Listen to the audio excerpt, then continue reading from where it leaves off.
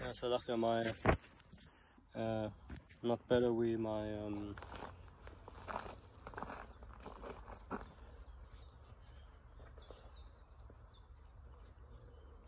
my chip basically was full.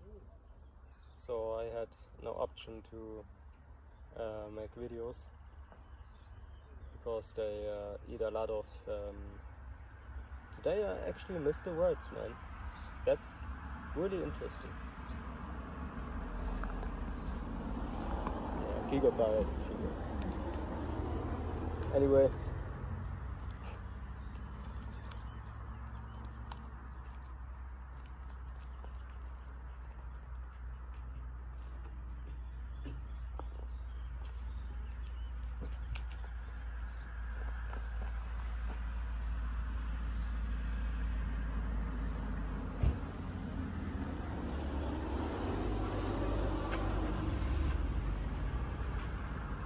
verse 20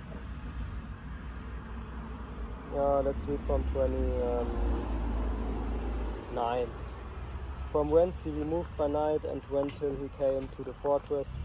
And bed times uh, betimes in the morning they looked up and behold there was an innumerable you saw that? That was a big big in insect man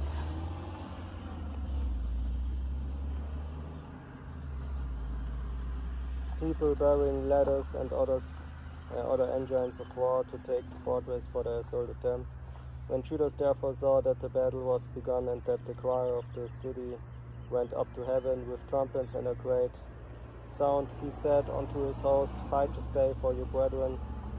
So he went forth behind them in three companies, who sounded their trumpets and cried with fire. Then the host of Timotheus, knowing that it was Maccabeus, fled from him. Wherefore he smote them with a great slaughter, so that there were killed of them that day about eight thousand men. This done, Judas turned aside to Maspha, and after he had assaulted it, he took it and slew all the males therein, and received the spoils thereof, and burned it with fire. From thence went he and took Casphon, Maged, Bosor, and the other cities of the country of, Gal of the cities of the country of Galaad, I mean, after these things gathered Timotheus another host and encamped against Raphon beyond the brook.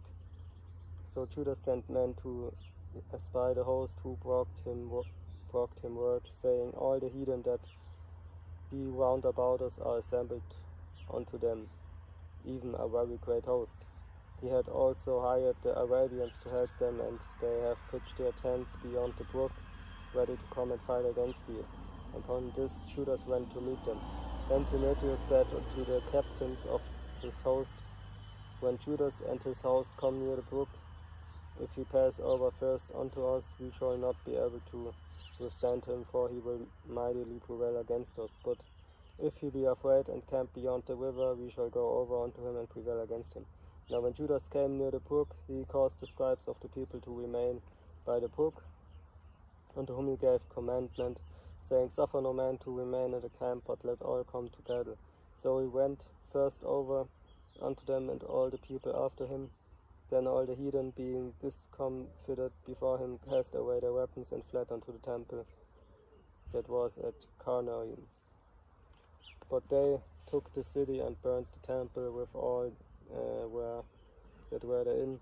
Thus was Carnaim subdued, neither could they stand any longer before Judas. Then Judah gathered together all the Israelites that were in the country of Galaad, from the least unto the greatest, even their wives and their children and their stuff, a very great host, to the end they might come in the, into the land of Judea. Now when they came unto Ephron, this was a great city in the way, as they should go, where we were forfeited, they could not turn from it, neither on the right hand nor uh, the left.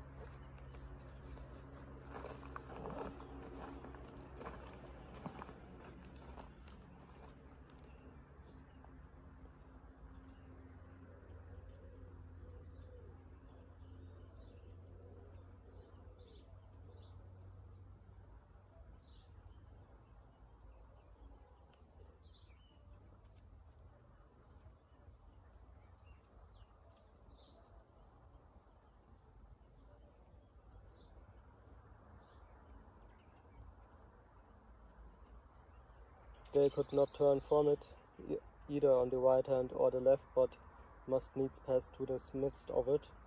Then they of the city shut them out and stopped up the gates with stones. Whereupon Judah sent unto them in peaceable manner, saying, Let us pass through your land to go into your uh, our own country, and none shall do you any hurt. We will only pass through on foot. How they would not open unto him. Wherefore Judas commanded a proclamation to be made throughout the host, that every man should pitch his tent in the place where he was. So the soldiers pitched and assaulted the city all that day and all the night. All that night. Till at the length of the city, uh, till the length, till at the length the city was delivered into his hands, who then slew all the males with the edge of the sword and razed the city, and took the spoils thereof and passed through the city over them that were slain. After this went they over to or Jordan into the great plain before Bethsan, and Judah scattered together those that came behind and exhorted the people all the way through, till they came into the land of Judea. So they went up to Mount Zion with joy and gladness, where they offered burnt offerings, because not one of them were slain until they had returned in peace. In our time, as Judas and Jonathan were in the land of Galilee, and Simon his brother in Galilee, before Ptolemais, Joseph, the son of Zacharias, and Azarias, captains of the garrisons, heard of the valiant acts and warlike deeds which they had done. Wherefore they said, Let us also get us a name and to fight against the heathen that are round about us. So when they had given charge unto the garrison that was with them, they went toward Chania. Then came Gorgias and his men out of the city to fight against them, and so it was that Joseph and Azarias were put to fight, uh, flight and pursued unto the borders of Judea, and were slain, and there were slain that day of the people of Israel about two thousand men. Thus was there a great overthrow among the chil children of Israel, because they were not obedient unto Judas and his brethren, you see, but to but dog to do some valiant act. And that is what yeah, Israelites do today.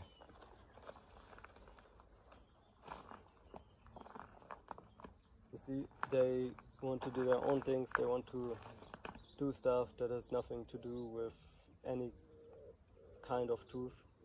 Okay?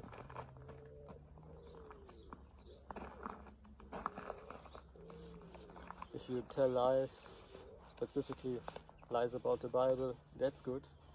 Okay? Because of course they are believers, you see. They proclaim to be believers, of course. Because, you know,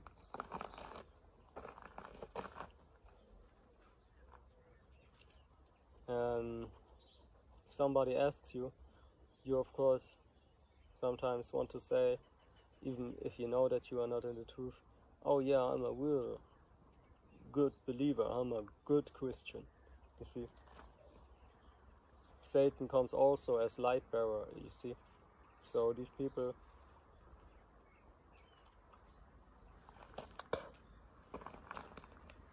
believe in something different than the God of the Bible, but still acting as their God would be, uh, which is no God, what would be the God of the Bible. Like, of course, they are a good Christian, but a Christian today is not what it uh, what it actually is if you watch it out of a perspective of the Bible. So actually, to be a Christian means a completely different thing today in these people's mouths and in what they um, understand as a doctrine. So basically, you would say.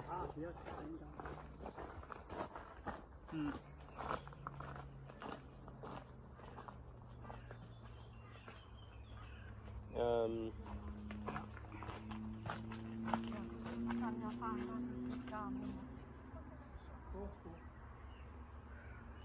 if you if you um,